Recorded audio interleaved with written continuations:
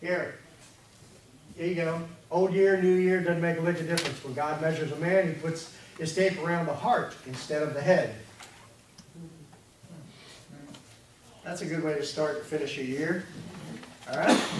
And like I said, I don't know who this guy is, but he must have been smarter than everybody in the pile. So, all right, where are we at, boss? Let's pray and we'll start going. We're on the top of the page of the two thirty-five. Two thirty-five? Oh, four. Two thirty-four? Okay. Three twenty-four. Verse twenty-five? Two thirty-four? Page two thirty-four? Yes, sir. Two thirty-four. Verse. Three twenty-five? No, the verse is three twenty. Ah. Oh, wait. Sorry. I'm saying the verses. Boy, we're really scrambling things up the last day of the year, aren't we? All right, let's pray and then we'll get started. Thank you, Lord, for today. We appreciate the fact that we can come and study your word. Pray that you just be in all our hearts and our minds and our prayers as we try to determine where you would like us to study and how we can not be an impediment to what's going on. Pray that you just watch over all the ones that aren't here, Lord. Just protect them and bring them back to us safely. Be with the ones that are here that have taken time out of their schedule just to be here, that you would bless their lives during the course of what's going on. And as we study today, Lord, I pray that it's information that is useful to us as we leave this room, and that when we do, we do so in such a fashion that people see you and not us in every way, shape, and form. We ask these things in Christ's name. Amen. Um, I put some things on the prayer list here, just so you know, um, about the class and all that kind of junk. But I also put on there, mom is in Courtenay Springs now. Um, She is physically better. Mentally, she does not know where she is. She, she still thinks I'm working on getting her into Courtenay Springs, so that's a good thing. So, um, pray this Tuesday, we have a meeting, and it's kind of like a planning thing as to where you go from there. And the fact that she's in rehab, they can probably transition her into assisted living. I do not think she will be going home. I don't think she can see as well as she could. I don't think she, definitely can't feed herself. She can't move very well. And she has very few conversations in reality. Okay? She thinks I'm having affairs with all the nurses. I don't know how I have time, but. You always were the good-looking one, right? So, Anyway, it's just one of those type of situations, so just keep her in your prayers, she's, she's doing well other than that, but, uh, so, just like all the rest of the family, we do, they have the same wrestling match going on, keep them in your prayers, because she's got, they've got four of them. I only have one. No, we have five. Oh, you got Don't forget five? the dog. Oh, the dog, okay, I'm sorry, I didn't, I didn't realize that. He's the oldest of them all. I'm sorry, sir. So, at any rate, I just, just so you know, just so you know what's going on, so. All right, let's, uh, let's go ahead and take off then. So we can start with verse three twenty-five on page two thirty-four, okay? When, whom God set forth as propitiation by his blood through faith to demonstrate his righteousness, because of his forbearance, God has passed over the sins that were previously committed. Well, that's a bunch of high words. Do you have another one? I think I do. Have Hang on, let me check. Usually have a stash. Since God in reality doesn't ever sweep anything under the rug, that comment might need a little bit of There you go, boss. explanation Yeah. about how he says he passed them over. He never sweeps anything. Well, it under the doesn't, rug. yeah, but you have to understand, he's, he knows what's going on, so he's allowed to do whatever he's allowed to do, and he basically, yes, he did pass them over. He swept sin under the rug. Uh, no, I think he put it in a closet. Let me And the ask, reason that he put it in a closet was, he had a program that was coming down the pike that was gonna take care of every one of those sins, and until that happened, he did not, he's not gonna hold somebody accountable for something that has not happened yet. let me ask you from this direction then. Okay? The ceremony once a year, Mm-hmm, the the Jewish people who you're dealing with, mm-hmm. um, took care of, didn't, didn't take away their sins, but rolled it over, would that have Um, been the yeah, you answer? could say roll it over. I, I mean, really, it it isn't even that. I would say it brings it back to memory, once a year, what has taken place prior to that. Knowing that only in another year, you're gonna have to do the exact same thing. So uh, how many of you get tired eating every day?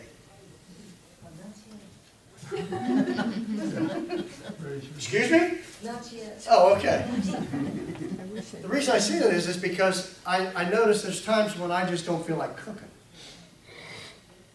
Why? Because it's something I have to do all the time, and I'm reminded of it all the time. I time. cook. And I, it's not an impugning of you, I'm talking about just the way I are, Bobby, okay? you're, uh, And- you're actually a pretty good teacher. I wish you'd quit doing that. I'd What? like to keep you. Yeah, quit eating, yeah. No, here's the deal. What I'm saying is you get tired doing things. Well, the same thing. Oh, God, we gotta go to the high priest this year and get our sins absolved again. And then we're gonna do it again next year, we're gonna do it again next year, we're gonna do it again. And you just get, it just gets to be rote. Yeah. You don't pay any attention to it. You do it because you have to do it. Well, that plan was set into motion because he knew eventually there would be the real thing. And when the real thing showed up, that would be absolving all of those other ones that they did. And you have to understand, there is nobody on planet Earth short of Moses, Abraham, maybe Isaac every now and again when he was young, and Joseph, that had a handle on what the Lord had done with their sins. They were the ones that grasped that he had imputed to them some kind of righteousness that was beneficial to them. Hence, they could be comfortable in him. What did David say over and over and over again about his salvation situation? Don't take it away from me. Why did he say that? He had no security. No, but he also kept saying, also at the same time, your mercy endureth forever. Sure. But it sure didn't seem to work in his head, did it? Okay. That's what I'm saying. So until you're indwelled with something, you don't always have that, that capability. So with what he's saying here, he said he's set, setting forth propitiation. He's setting forward a payment plan. Okay? The payment plan is set up. Jews don't have a clue about it. All they, they can talk about it, they can read about it, they can prophesy about it, but they don't have a handle on it. But it is already set up. All right? And it says, and it took faith to do that. Everybody likes to tell you there's no faith in the Old Testament. That's who? The fact that Abraham picked up his tent from Ur of the Chaldees and packed it out and left was the biggest indication of somebody having faith in something that he didn't know a thing about that you could possibly get your hands wrapped around. And the fact that God in the Bible said that he reckoned. Sure. And he said that of several people. He said he reckoned it unto them righteousness. And that's what they're talking about here, okay? And when it's talking about whom here, Christ is the one that set forth these things. And it says it's a verb of action to display publicly in the middle voice. What does that mean? You have to have a response to what God says when it comes to propitiation. People that don't believe Christ died on the cross for them cannot benefit from Christ dying on the cross from them in any way, shape, or form. There is not an individual in here that would say Christ didn't die for you. Why? Can you prove it? Well, because the Bible says that God is not willing that any should Well, perish. You're just going on words. One. Yeah, but it's, fixed- it's just words. All- What makes it, what makes the transition from words to me banking my whole ever-loving life on it? By the action of trusting. Faith. Faith, right. Okay? This is what he's talking about. Through faith, something in you has transformed. And that ability to have faith is not something you can generate yourself, that is internally generated. It's a gift. Is that making sense? Does that make sense? So what I'm saying is that's what they're saying through this stuff. Now, and it says pro. It's not, so that all this all this faith stuff was set up before you even had to tag it. All right. Now, and it says also it says the place, and the cross is, is the place where we're talking about. So what they're doing with all of these things is that's why I said here's the cross. I got something here. There's one left somewhere. And look, There's, there's our, down, down on the table, Down. under your papers. Oh, thank you. Blind guy. Okay. There's the cross, all right? Over here, and you got over here. This is Old Testament.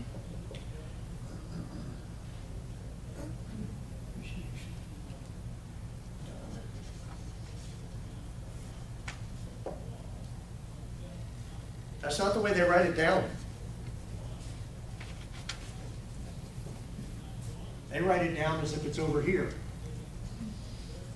Everybody in the Old Testament had to have a handle on this in some fashion. This was done. Why does it say it was done? Because it was all done back here at that big table when everything was dealt with.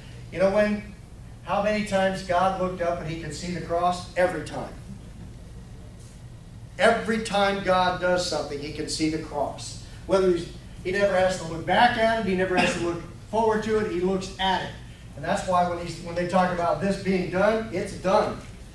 Nobody can argue with it. And that's why with all of these things that are taking place on the cross, Constant of Errors covers three hours. So all of this took three hours right here.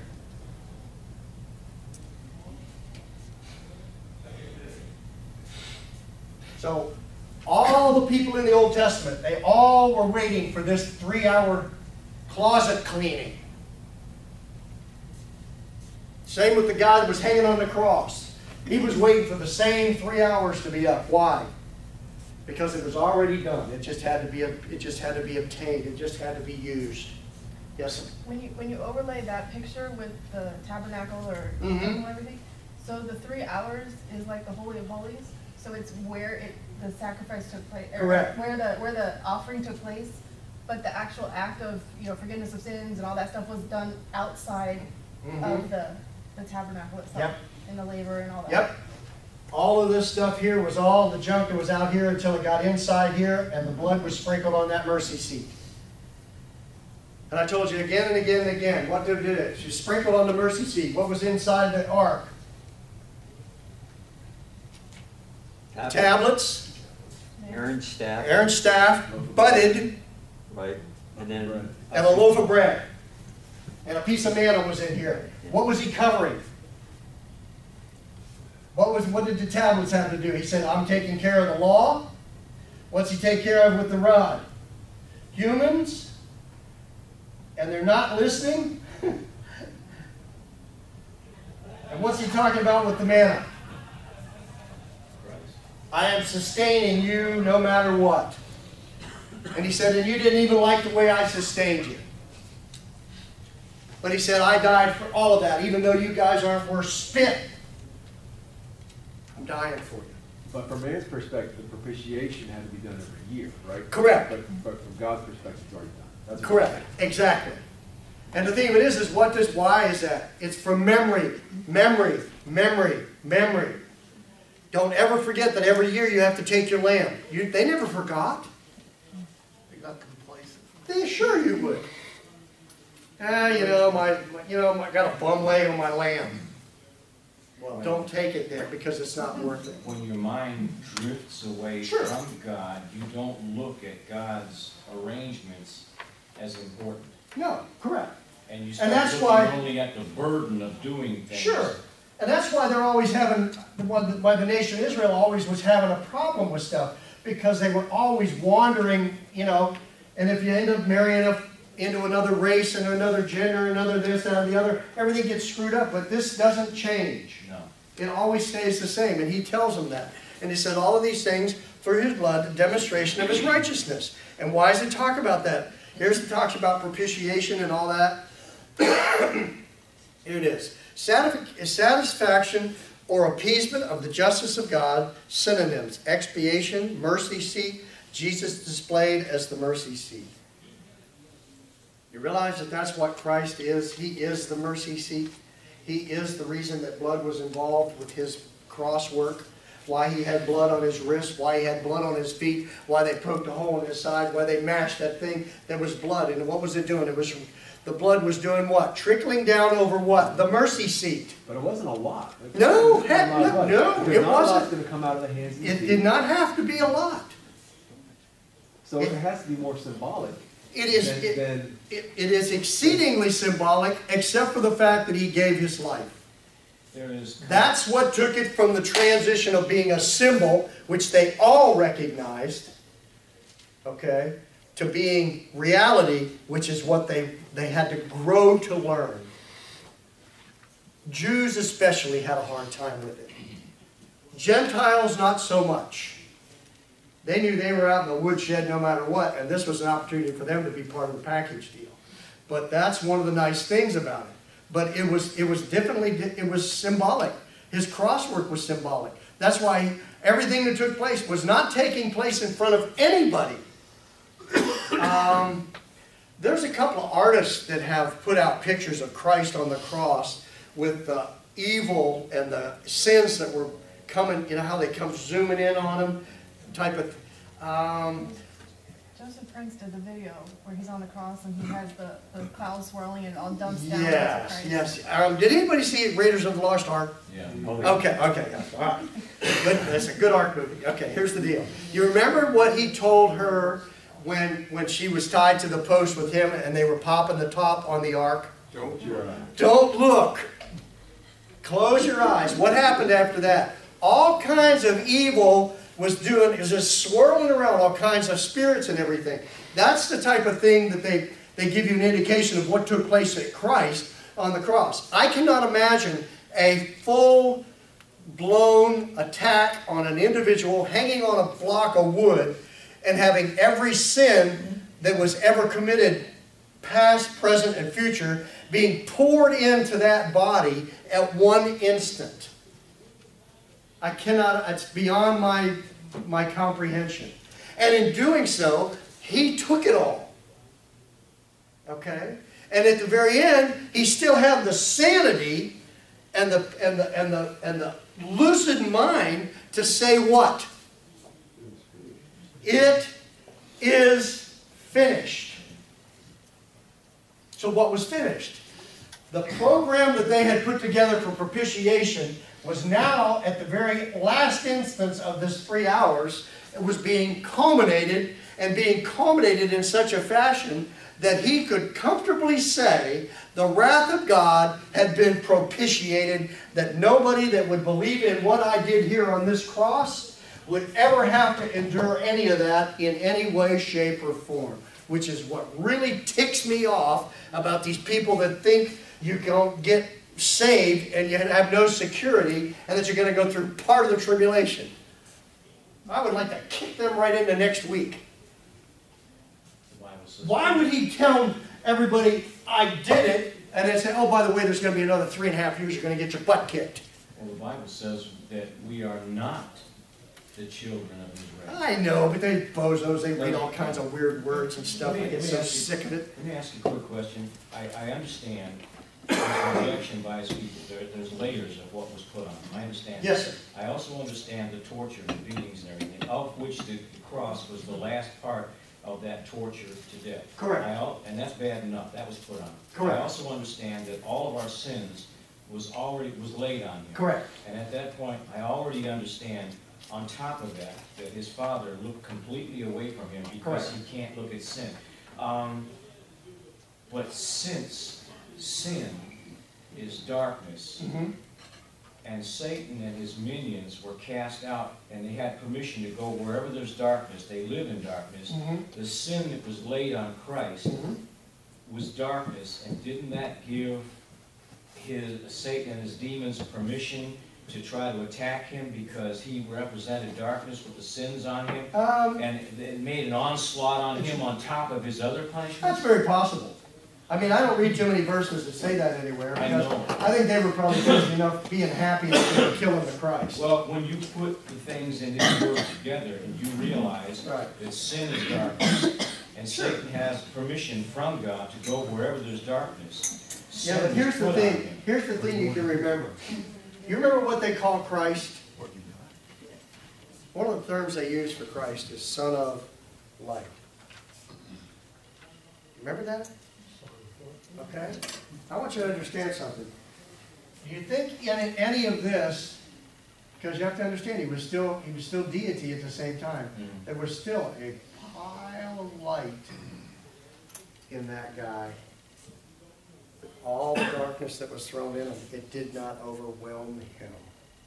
Oh, no, I understand that. I just So- meant that because right, there's darkness, here's they what- tried to attack. Right, but what you have to understand is, no matter what was going on here, it didn't, it didn't detract from that at all. It couldn't. All right? And the fact that, it- the fact that it surrounded him, you could probably call it, you know, putting, put a capsule. Um, one time I did a, a Sunday school thing where everybody could come in and there were black balloons everywhere. And that, but the problem is, I went around and popped the black balloons and every balloon had a red one in it, Had a a red balloon in it. Oh. Why? Because that's how Christ was on the cross. It looked like everything was gloomy and bad and everything was vicious, but the problem is it was just a, a casing. And the casing inside had Christ. And the moment he said it is finished, pop, that thing got popped, and the light that was supposed to shine, shined. Where did it shine first? He went right down to the big boys downstairs and said, oh, by the way, I'm here. And I'm taking all of these folks with me, and you guys get to be by yourself. I'll deal with you later. So he never, ever, ever, ever had a problem with any of that. That's, that's the problem. Our minds can't tackle half of the stuff that took place on that cross. It would be phenomenal if you had a mindset that you could do it, but I it didn't didn't. mean to imply. No, no, no. That the darkness, that Right. God, that Christ Right. the darkness. I mean, Right. because even in his life, Satan tried to attack him through Sure. darkness, and Christ always rejected it. I didn't mean that. But at the same... I meant that that was an- another onslaught oh, on shucks, of yeah. I don't doubt that for a minute. I'm sure they hammered him the whole time he was hanging on the cross. And the problem is, once it was all over, then they all went down to the, you know, local lodge and they had a couple of brewskis and were just happier than pigs in slop because they had nailed the, the Christ to, the- to the cross. The only problem is, you know, they, they were just a little premature. All right? So, but that's basically what it's talking about, propitiation through faith, not an article, emphasis on qualitative aspect of a noun, rather than its identity. Faith is an object, it's Christ. So what we're talking about here is the propitiation and the faith involved had nothing to do for anything except Christ. All right? Anytime you use the word faith, you better use the word Christ. Because that's what your faith is in. You have to have an object for your faith. Right. Nothing can supplant Christ as the object of your faith. Why do you have faith that you can do something? Because Christ is in me, and he says that I can do all things through him. My grace is sufficient for you. Bingo. Every time, it's going to be Christ-centered. That's where your faith is centered, and that's what they're talking about. Now, here, I put a little thing down here with the word faith, and it says, faith never subtracts from the efficacious work of Christ. All right, what's the efficacious?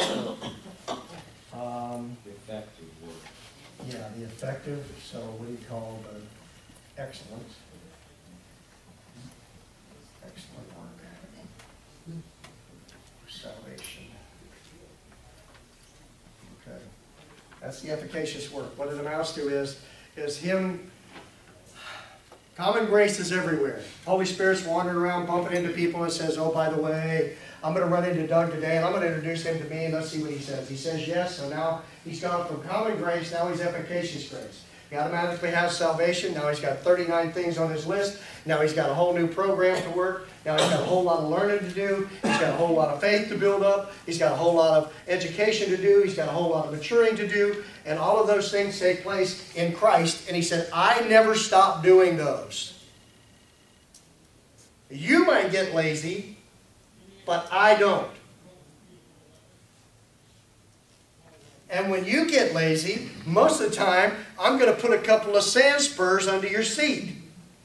and when you sit down, you're going to go, that's okay. I didn't want to sit there that long anyway.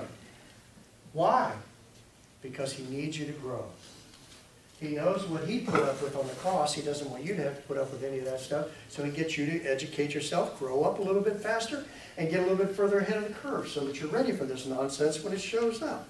Nothing can be added to faith in Christ with appropriate salvation. No substitute for faith in Christ. Nothing. Don't depend on your own skills. Don't depend on your own knowledge. Hence that up there. Don't depend on people. Don't depend on your church. Don't depend on anything. Depend on Christ and that book you got parked on your lap. Because it's all about him doing. Any Correct. other consideration Correct, correct, correct. doing, we can't be righteous in that we do. But it has to be all about him, every bit of it. Passive and middle. Okay? There's your word for faith. It's either passive or it's middle. It's never, ever, ever, ever, ever, ever you. You can be involved in it, you can be used of it, but you can't do it on your own. Okay? Middle voice means you're involved in Jesus Christ somehow. Now, how would that be? You know what? Every time I read my Bible, and every time I learn another verse, every time I commit another plot of Scripture to my mind, I've taken something that is passive and turned it into a middle because I now have it in my head and I can use it the next time I need it. Okay? I can sit there and read my Bible and not do anything, and then I'm useless. The only reason you should have a, a, a knowledge of the Bible is to function correctly in the world. That's what James said. No other reason. Be a- Okay? Don't be a hearer only, but a Yeah. doer. Yeah, That's- that's the deal. If you're a hearer and not a doer, then you're a foolish. man. well, that's, you know, those are grumpy words, but that's the way it flies. And the thing of it is, is he's just telling you that nicely every now and again. Every now and again, he puts a couple of exclamation points with it. It says, and then here's the definition of propitiation, okay? And it's kind of helps a little bit. Is the Godward side of work of Christ in salvation, this propitiation, all right? In the work of Christ on the cross that deals with the integrity of God. And that means satisfaction. Justice of God judges our sins as Christ was bearing them on the cross, and the integrity of God is satisfied with that judgment. Now, the fact that we know that he was satisfied with that judgment means that the righteousness that's imputed to you at salvation, which is Christ's righteousness, makes it possible for him to interact with you all the time because he never sees you. He sees the righteousness that you accepted with your faith in Christ.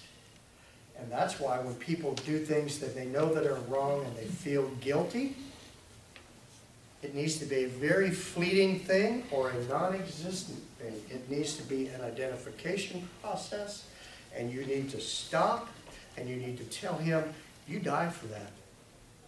There should be no guilt in this because you already died for it. And I'm going to go on now, I'm going to learn from it, and I'm not going to play in that field anymore. That's how you benefit from this stuff. Guilt will slow you down something fierce. Um, how can, how can I put this?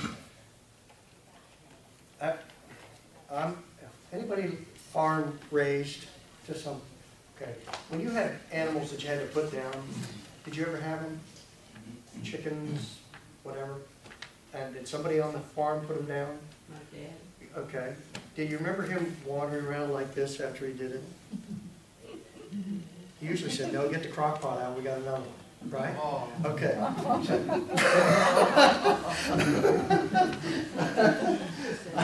What I need you to understand is, there are certain, there are certain things in life that, that need to be addressed that way, okay?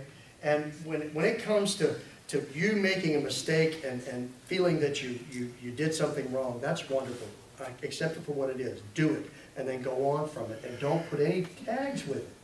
I take my, when my dogs wear out, okay, my dogs, um, I've had them, I don't know how many over the years, but when they wear out, I go dig a hole out back, I wrap them in there, I give them a good meal, all right? And I wrap them up in their blanket because they might be dying from heartworms, they're, they're suffering immeasurably or whatever. And I go out there and I put them down and I cover their heads up and I put, and I shut them down, okay? I don't feel guilty about it. Why?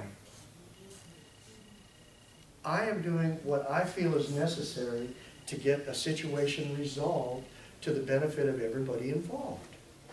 The dog doesn't mind. The last person they saw was me, the one that took care of them for their whole life. The one that threw the ball for him, the one that took him hunting, the one that picked him up out of the duck boat, one, all of these things, these are all things that are in my head. And I, but when I put them down, I put them down because it's time to put them down. Well, when you do sin, it's the same thing. You did it, okay? Don't wrestle with it. Call it what it is. You made a mistake. You sinned. You did something that Christ died for. Accept the forgiveness of it and go on with it. That way you don't get all caught up in all the baggage that goes with it. And the next thing you know, if you keep heaping these things in your backpack, by the time you get five years down your road, you are just dragging with garbage that should have been resolved a long time ago. By not doing that, do you not diminish what he died for? Exactly. Big time. Very big time. You're saying, well, I, I, you know, I, I know you died for it, but I just, I don't think I can really get rid of it. Well, that's not what he said. So that's a big thing. How are people able to function when they think you don't have to do that though? there's some Um, people that think you don't have to confess your sins, you're already righteous. Well, that's a tough, that's a tough scenario nowadays when they're peddling that stuff right now, but it goes away. It comes in cycles. There'll be other times when people will, next thing you know, they'll be out in the streets crying because of it. But that's not what it says either. It says you take this to your high priest. Who's your high priest? The guy sitting next to Christ, next to God in the, in, in the Holy of Holies, and he's the one that you talk to. Why? Because he's the one that goes right to God.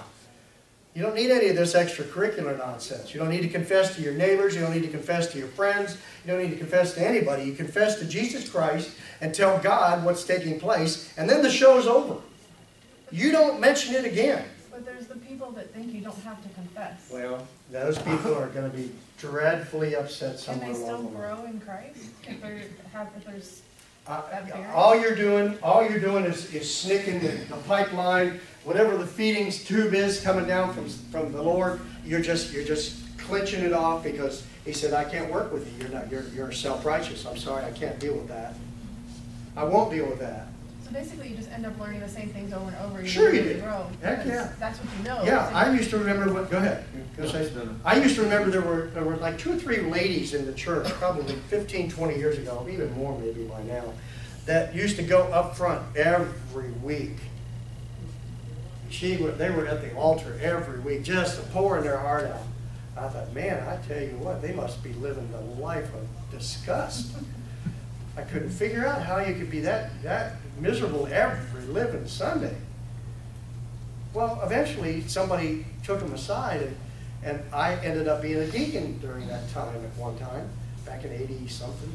And uh, I got one of them as a, as a, as a, what do, what do you call them? You take them in the room in the back. A mentor. A mentor, whatever, yeah. Anyway, I got the counselor. Counselor. I was a counselor. Can you imagine that? Okay. At any rate, I got to take one of these back, and, and the lady said, and I said, yeah, ma'am, I said, and I said, and, you know, I'm, diplomacy hadn't evolved like it has. I'm so diplomatic now. I said, by the way, ma'am, um, what the flip are you doing all week that you got to come up here every week? And she, she kind of got big eyes and looked at me, and she said, well, what do you mean? I said, well, I mean, Christ died on the cross for all your sins, but you're up here like you're finding a bunch of new ones every week. And she said, well, no, I, I, I just don't feel comfortable because of what I'm doing. I said, what are you doing it for? And she said, well, I did that not make sense? I said, what are you doing it for? Well, it's a habit. Oh. I said, so Christ didn't die for your habits, he only died for your sins. Well, yeah, I guess that's, that's probably what I'm saying. I said, well, if you could find a verse for me uh, that says that, I would really appreciate that. So she sat there for a couple minutes looking. She couldn't. I said, do me a favor, whoever taught you that garbage, don't listen to him anymore and go with this verse right here in, in eight one where it tells you you are now, you know, there is no condemnation in those that are in Christ Jesus. I said, because he doesn't do that, only you can do that. And he said, well, okay. I've never heard, from, from somebody that's been to church now as long as I have, I'd never heard that before. So somebody didn't teach her what you do with your salvation. So from that point on, I don't remember seeing her up front anymore. And it was a while later, she came back through one time and we were having a meeting or something. And she stood up in, in the meeting and she said, you know, two years ago, somebody told me something in that room back there that changed my life. Uh, geez, here we go. And she said, I would like to thank this church for raising an individual that actually knows what that book says. And I tell you what, I had some of the most phenomenal Sunday school teachers in this church that you could possibly ever, ever put your, put your hats on. And they taught me to take that word literally. But it says something, by God, it says it for a reason. It doesn't say it so you can feel good. And salvation will make you feel good, but you self-cleaning your house doesn't always feel good. And they realized that, and they were, they were, she was very gracious about it. So all I'm telling you is, make sure the book says something before any of this stuff takes place. Your faith is something that you're gonna go through and you're gonna grow with. Now, and when it talks about Godward side of the work, God does everything that Christ had to do. Now, on the next page over, it said, when you've got salvation, it frees the justice of God to give anyone who believes in Christ immediately one half of God's integrity. All right? We told you that a bazillion ever loving times. You are now a big plus R. Okay? That's why God can contact you. That's why He can bless you. That's why He can interact in your life because you are a plus R. You have Christ, so you now have that righteousness. So one half you said, what's the other half? The other half is integrity and justice part of it. Okay? So when you got integrity, you got justice and you got righteousness. The justice, keep an eye on righteousness, and righteousness keeps an eye on justice. But the justice part is not how we interact with God, it's His righteousness. So when He shoves you full of righteousness, you are now able to study your Bible. That's why Scott's coming up with all kinds of odd questions about where in the world your heart is in all of these situational programs that take place in the Bible. Why can you think this and not that? Why can you be here and not there? Because the Holy Spirit is in there now, and the Holy Spirit is going to lead him into all truth. Doesn't stop the questions. It gives you a comfort in going through the questions, even though they're, they're very, very uh, frustrating. Yes, very. Okay. Well, I'm just saying. He comes across the same kind of stuff I do when I see stuff and I say, what the flip did it say that for? And then you go scouting around and you try to put it together. Well, some of this may not be. We may go into eternity being frustrated. Okay? Because we try to go to minds greater than us trying to get these answers, but sometimes they don't even have the answers. That doesn't mean I how you- stop. How do you reconcile that with the Holy Spirit leading us into all truth? Well, he leads you into all the truth you need. That's the problem. you know, that's that's where the wrestling match can fall apart because you know he says, well, I, you know, Scott's saying, well, thank God, Lord, I got to have this. He said, no, I don't think you need it right now. But he'll dance you around and he'll give you tons of information and no telling what he'll teach you from it. But then very well, he very well may lay it out for you eventually and then you come to this epiphany. I did that when it came to um, Blake. When Blake was here, remember Blake and Susanna, that bouncy little thing that was here the last time? Okay. Um, Blake didn't believe in, in um, security and, and the fact that, you know, you were secure in Christ. I said, well, okay, this is when I was studying stuff about the fact that Christ said one thing, I'm going to leave, and if I leave, I'm going to do what? I'm going to send somebody in my stead. I will never leave you unattended. Okay? Henceforth, he's telling you, I'm leaving, the Holy Spirit's going to show up, you're going to know him because I told you he's coming. Okay? I found in myself what you're talking about and the answer to his question. I don't have knowledge in Hebrew.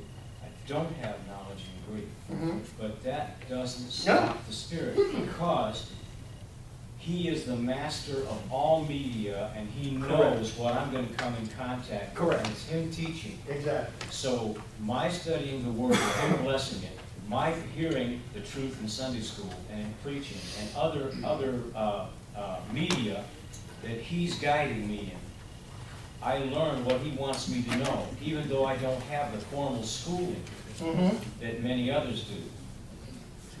Because it's Him doing it, and He's responsible, and He causes me to listen. That's the way it's supposed to be. Exactly.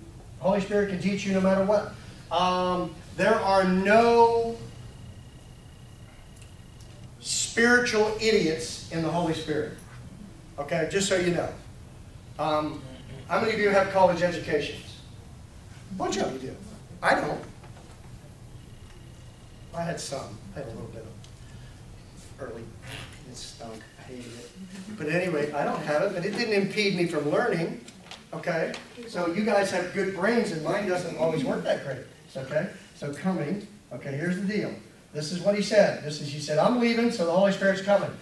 Blake couldn't get a handle on that. So I said, okay, Blake, let me take you to Thessalonians. It says there's going to be a program going on back here when the, when the end times come on, and one thing's going to happen. He says, I'm going to do one thing before the son of perdition can be exposed. I am going to pull the comforter out. Okay? And he said, well, yeah, what's that mean? I said, well, here's the comforter over here coming, and here's the comforter over here leaving. You ain't going to be here for none of this stuff, bud. Because he said, I'll never leave you unattended. And he just told you in Thessalonians 1 9, he said, uh, You're going to be left. He said, When I'm coming, this guy's going to go, and the son of perdition will be exposed. I think it's Thessalonians. What is it? Somewhere in Thessalonians. Donnie's not here, so I don't have all my. So, but at any rate, he, I told him that, and from that point on, he was comfortable with the fact that he wasn't going to have to go through the tribulation, and that he was going to have some security in the fact that he knew Jesus Christ. Because people don't teach the simple stuff anymore. They, they dance around it too much, trying to be fancy. Well, it's not necessary to do that, all right? Bobby, moving on, don't you think that we will have questions even in heaven when we get there? Um, that is a big, that's a big, uh, Debate. my thing is, the minute I'm gone, okay, I'm gonna be taken from corruptible to incorruptible. And in doing so, I'm going to have, what's it say in one of the verses, that you look into the mirror dimly?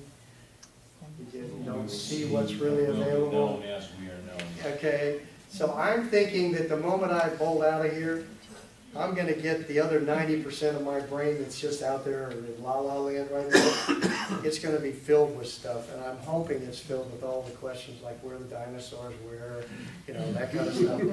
You know, All the I- important questions.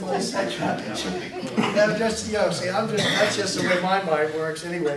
I'm kind of of the mind that you're gonna get some of those questions answered because now I'm gonna have the full mind of Christ, not a quality of that mind. Okay, right now, walking planet Earth, you have a quality of the mind of Christ, which gives you the ability to study your Bible and to have discernment and things like that. But when I get the mind of Christ and have a, a, a, a mind that's not corrupted by sin, I think there's gonna be a whole lot more. I could probably spend a, a probably, I don't know, a couple of eons just sitting in a corner like this, letting all that stuff travel through, you know, your memories. So I don't know.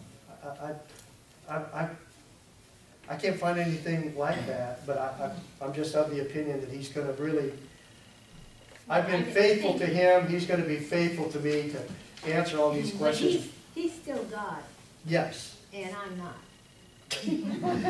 Oh, God, what'd you do? What man? Oh. I knew that was coming like a landslide. Well, you're walking home. But anyway, all I'm saying is that when it comes to that kind of stuff, I, I'm of the mindset that you're gonna get a lot more in this, in this than you ever gave. So, You're gonna be in the know. I'm hoping, I'm hoping, so, I wanna add- yes, ma'am. Um, uh, uh, Jesus was saying that, uh, when, like, when we go to, we get to heaven, and, uh, the, the former things gonna be passed away, they won't even enter our minds anymore, the things that was on earth here. Right. But there's all kind, well, I hope so. I hope they pass away, but I hope they pass into knowledge. I hope they're just not God. My thing is, he gave, this is a training ground. I know. I mean, he tells you that. I'm prepping you for eternity here. I hope that everything I learned here scripturally is not gonna go away.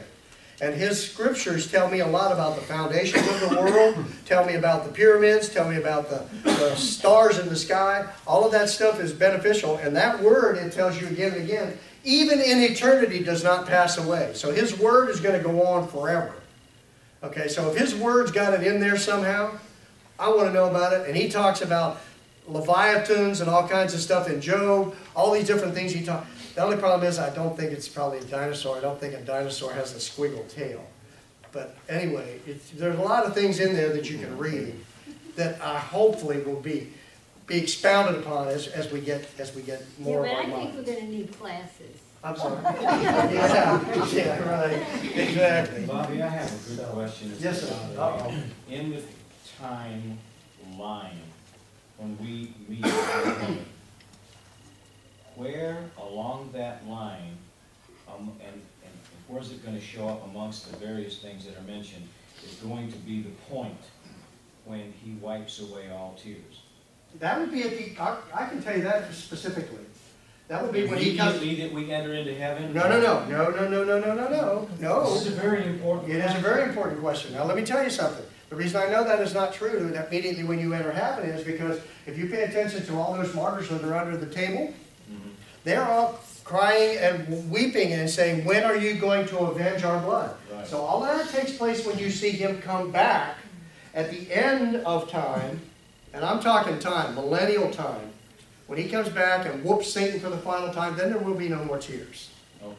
Okay, and, and you have to understand, And that's, he's judged all things. he judges all things, okay? So then, then things get wiped clean, then a period of time after that, you're gonna find that everything is revamped, Yeah. okay? And the earth will be revamped by fire, okay?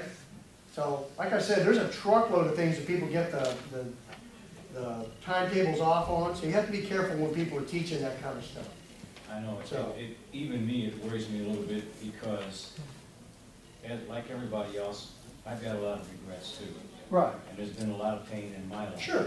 And I was wondering how long and how it would fit into the known timeline that we're told, when that's gonna be taken away. And- Yeah. and- Well, and you- here's I the don't- thing. I don't think your pain is gonna go through the. The thing is, If I go there, and then am I gonna be telling scenes of what I could have done in somebody Um, else's life, and how, and how they didn't get what they need because of something I failed at? I don't know, I don't know that that's gonna be the case. I do know that he can show you all those things, but I don't know that he will do that. Why? Because at the, at the Bema seat, it is a time of blessing and a time of, of rewards and a time where you see what you didn't do, but I don't think it's going to, it's, it, you're still someplace that you really, really don't mind being. Right. And, you know, I, I I don't know that it's gonna be that dreadful. A lot of people wanna make There's the not Bema that much seat. known about it. Right, there think. isn't, there's very little known about it, so. Isaiah says, For behold, I create a new heaven and a new earth, for the former shall not be remembered. Okay, there you go. And that, yeah, now that's. That's, a that's, that's after the millennium and after everything else. The only thing that does go on is the the scriptures itself. God's word never stops. So, you know, he's gonna, if he needs to wipe it clean, he wipes it clean with something to do. I don't, I, I, I don't have a problem with it. I, I mean, there's a lot of stuff I don't mind not being in my mind you know? Well, that goes along with like the question she asked. What about my unanswered questions? Right. Well, well, I may not have a question by the time you get up there. Right. you know? what, what was that question again? what first Doug? Isaiah 65. There's Mary Ann wandering around up in heaven with a piece of paper. I had a, I had a question on this paper, but dang God, I can't find that paper. 65 what? 17. So, Well, that's When just is one it that she's not gonna have any more questions? no, she'll have a whole bunch for you. So, It's just that I knew that the way things were being described in the Bible, there seemed that it was allowing me to think that for a portion mhm. of time, amongst the steps of things that were gonna be happening, that there was gonna be a time before everything was wiped away. well, the, uh, yeah, not knowing the time schedule up there, not knowing how this takes place, I don't know. You know, I have had several different ways of looking at things to where like I said, everybody that is in, that was in paradise is now at the edge of heaven. They are not in the third heaven yet. They're at the edge of heaven, waiting for everybody else to show up. I tend to agree with you because at the time when he finished, all judgment, all things Right. at all levels Right. Are going to be judged and finalized in the accounts closed. Sure. That seems to me to be the time when. Well, yeah, Christ has that all squared away, and he knows when I'm it's all, worried all gonna take place and all that. So, at any rate, where we at? I'm almost out of time, am I out of time, Ms. Adam? This salvation, okay, let me do number five real quick. This salvation adjustment to the salvation of God frees divine justice to provide blessing for the believer in salvation. At rebound, which is repentance, after reaching maturity. So your salvation takes care of your sins prior to salvation. Rebound takes care of sins after you're saved. All right? Anybody that thinks you don't sin after you're saved is an idiot. I don't know how you can spell it any different. But he paid for all Everything. But, before, during, and correct, after. where they're exactly. They're all squared away, but he wants you to remember But why. they still have to happen. Because every time you, yeah, every time you remember, what do you do? You give honor to the fact that he went to the cross for you. Phenomenal program. And maybe that's where you're coming Yeah. from before, where they say, hey, you know, I don't have to. No, you're going back and you're having that conversation Patience. and the remembrance of, Correct. oh yeah, you paid for everything. Correct. So maybe that is honoring him, like you It said, does. By recognizing, ooh, I, I, I did mess up here. Sure. I'm sorry, let's move forward. But it also takes care of your self-righteousness. Right. You're yes. getting, you're wiping that puppy clean every time you do that, because other than that, you think, well, I've got some, I've got some good here of my own, I don't have to really go and clean that up this time. Well, that's not the case. So, all right, mark it there, boss. We'll start there next week, all right? Okay, what do we got? Anything on that clipboard, Oh, Mrs. that's A? Sorry. All down, down.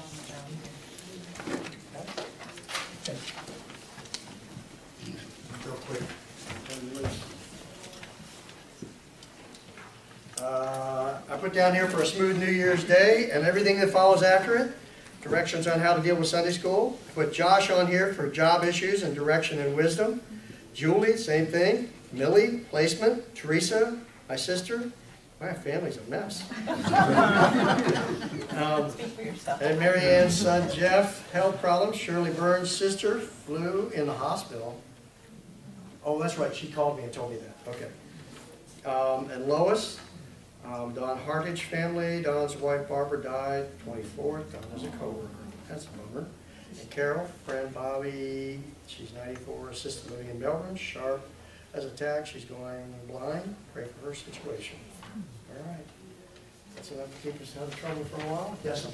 Bobby, may I just, I didn't write anything on the prayer Sure. sheet today, but I don't think all of you know that Tom had been in the hospital and just a couple of days before Christmas, and he has had a pacemaker put in that we're hoping is going to take care of this lightheadedness, and Okay. also the doctor said it had to be done when it was done because his heart was slowing up, and there were even times when it has probably stopped. I don't know. And so if you would just add Tom to your Sure.